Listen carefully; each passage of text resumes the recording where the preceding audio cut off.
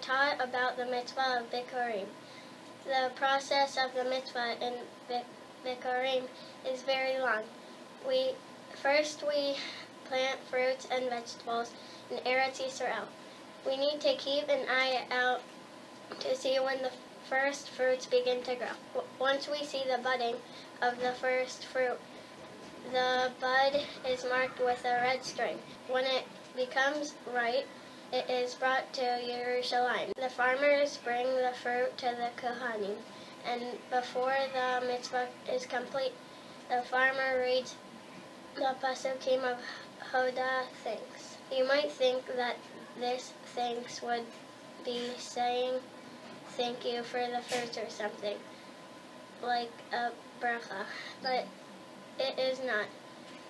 The thanks begins with a look at Jewish history.